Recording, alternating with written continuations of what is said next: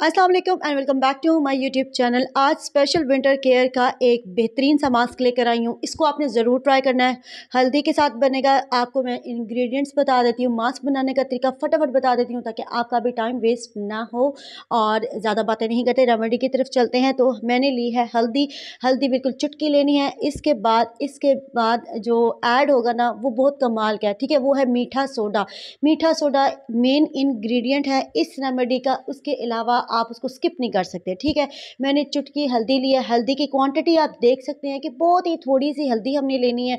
ये winter mask है, इसको आप समर में भी यूज़ कर सकते हैं, ठीक है? विंटर में आप इसको हफ़्ते में दो से तीन दफ़ा यूज़ कर सकते हैं समर में आप रेगुलर भी यूज़ करें तो कोई मसला नहीं है, लेकिन आपने इसमें लेमन भी ऐड होगा तो वो फिर ऐड नहीं होगा। फिर हमें लेमन को स्किप करना है, अगर हमने डेली अपना फेस को ब्राइट करना है ना तो डेली इस्तेमाल करें, लेकिन फिर लेमन डेली इस्तेमाल नहीं होगा। मीठा सोडा हल्दी लाजमी ऐड होगी ठीक है हमने थोड़ी सी हल्दी ली थी थोड़ी सी हमने मीठा सोडा लिया था। फिर इसके अंदर जो ऐड किया ना वो है आ, मैदा, ठीक है? जी, मैदा इसके अंदर एक से डेढ़ चम्मच मैंने डाल दिया हुआ है और दूध के साथ हमने इसको, दूध कोई सा भी यूज़ कर सकते हैं, डब्बे वाला दूध हो जाए। अगर रॉ मिल्क है ना, खुला कच्चा दूध तो वो बेहतरीन है।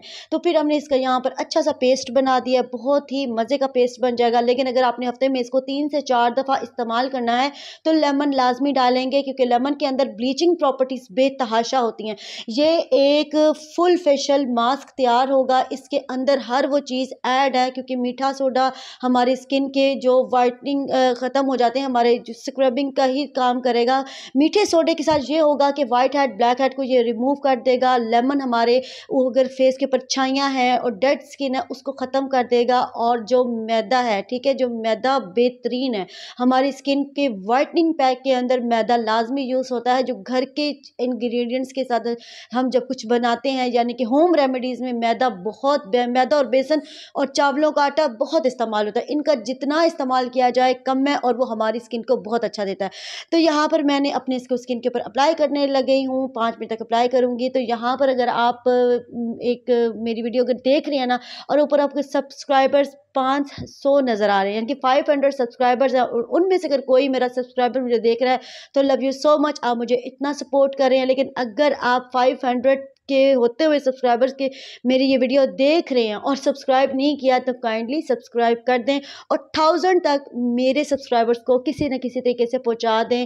और बस फिर इसके अलावा मैं कुछ भी नहीं कहना चाहूँगी क्योंकि अगर आप देख रहे हैं, हो सकता है कि थाउज़ेंड से अबव मेरे सब्सक्राइबर्स हो जाएँ और आप ये वीडियो देख रहे हैं और आप तक ये वीडियो पहुँचे। लेकिन अगर फाइव हंड्रेड तक और सब थाउज़ेंड से कम सब्सक्राइबर्स आप देख रहे हैं और आपने सब्सक्राइब नहीं किया तो काइंडली थाउज़ेंड तक बस रेड कलर के बटन को प्रेस करें और चैनल को सब्सक्राइब कर दें और थाउज़ेंड तक मेरे सब्सक्राइबर्स को जल्दी जल्दी पहुँचा दें। भाई, आसान आसान सी रेमेडीज़ आपकी तरफ़ पहुंचाई जाती हैं तो बेल नोटिफिकेशन को भी प्रेस कर दें। यहाँ पर मैंने क्या किया है कि मैंने इस मास्क को मैंने इस्तेमाल किया अपनी स्किन के ऊपर। इसके साथ आपके जो गर्दन काली हो जाती है, अक्सर लोगों की पीछे वाली साइड बहुत ब्लैक होती है तो बहुत बहुत अच्छे रिज़ल्ट आपको ये देगी। इसका ये आप इसको क्लिनज़र के तौर पे इस्तेमाल करें।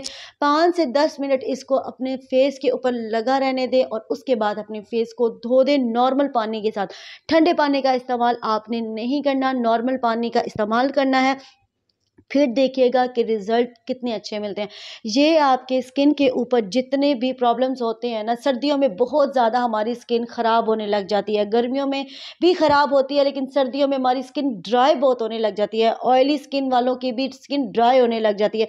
तो इसको ट्राई करें और मुझे फिर कमेंट्स में आके आपने ज़रूर ज़रूर बताना है कि आपको इसका रिज़ल्ट कैसे मिला है। एक महीना इस्तेमाल करें और फिर मुझे आके बताइएगा। मिलते हैं नेक्स्ट वीडियो में। अपनी ढेर सारा ख्याल रखें। अल्लाह हाफिज़।